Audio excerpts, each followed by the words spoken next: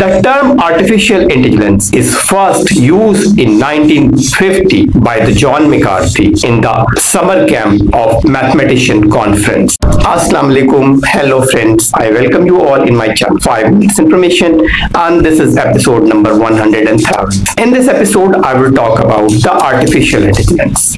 Viewer guidance you can get the notes of this video lecture mentioned on the link of this video description. In this video, I will talk about point number one, what is artificial intelligence? Point number two, what are the real examples and usage of artificial intelligence? And point number three, what are the types of artificial intelligence? Come to the point number one, what is artificial intelligence? There is no proper definition of artificial intelligence that is acceptable to all domain of knowledge. It is an umbrella term. The universal concept of artificial intelligence presented by the United Nations Information Economy and Report in 2021. The report says artificial intelligence is the ability of machines and systems to acquire and apply knowledge and to carry the intelligent behavior. This may involve performing various cognitive tasks such as sensing, processing oral language or natural language, reasoning and learning, make, making decisions and, and demonstrating an ability to manipulate objects accordingly. The more suitable definition presented by the Hacker in 1986 Artificial intelligence is a branch of computer science that concerns the ability of computer to perform the intelligent tasks such as those acquiring, recognizing, reasoning and learning. Point number two, what are the usage and example of artificial intelligence in our real life? Though artificial intelligence is effect in all walks of our daily life, it is used for the maps and navigations. Number two, facial detection and recognition. Number three, text editor, autocorrect and translation to the natural language process. Searching and recommendation algorithm on the basis of usage metric of the internet user or computer user. Number fifth, chatbot. Like most of the people use chat GPT or different GPT based chatbot in their daily life. Number six, virtual assistant. The most of the time call center and different website have presented virtual assistant to use and resolve the complaint of the customers and users. Now come to the point number three. What are the types of artificial intelligence? Artificial intelligence are divided into two types. Number one, types of artificial intelligence on the basis of capability. These fall three types. Number one, artificial narrow intelligence. Number two, artificial general intelligence. And number three, artificial super intelligence. Type number two, types of artificial intelligence on the basis of functionalities. Number one, reactive machine AI. Number two, limited memory AI. Number three,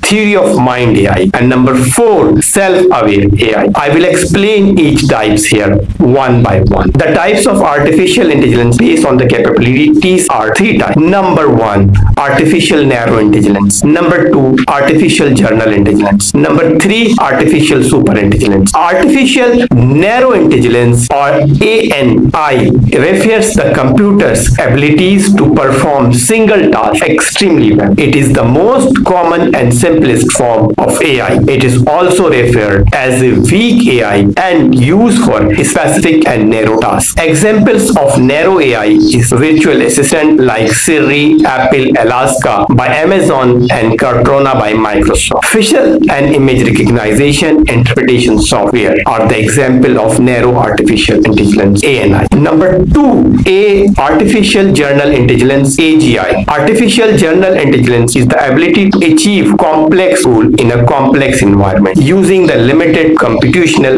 resources. Sometimes it's referred as a strong AI. In any other episode, I will discuss what is the difference between the strong AI and weak AI. The example of artificial intelligence general are self-driving car, expert system, and language model GPT. Point number type number three, super artificial super intelligence or ASI. Artificial super intelligence ASI defined by the Brett and Bunn into 2017. Artificial super intelligence is an significant and more intelligent than human in all aspects, where the machine becomes self-aware and surpass the capability of human intelligence and ability. The example of ASI ASI or artificial superintelligence are Google DeepMind. Google DeepMind is an AI system that is capable playing complex games such as chess and goes. And AlphaGo. AlphaGo is an AI system that is capable to playing game for game of Go. Now we come to the type number two, artificial intelligence on the basis of the functionalities. There are four types. Number one, reactive machine AI. Number two, limited memory AI. And number three, theory of mind AI. And number four, self-aware AI. Come to the point number one. What is the reactive machine AI? Reactive machine AI is capable to capable of responding external simulated in real time, unable to build memory or store the information for future. A chess playing supercomputer is an example of reactive machine AI. Number two, limited memory AI. Limited memory AI that can store knowledge and use to learn and train the future tasks. Like self, like self-driving car is an example of limited memory AI. Type number three on the basis of functionalities is theory of mind. Theory of mind AI that can sense and respond to human emotions plus perform the task of limited memory machine like personal assistant and chatbots.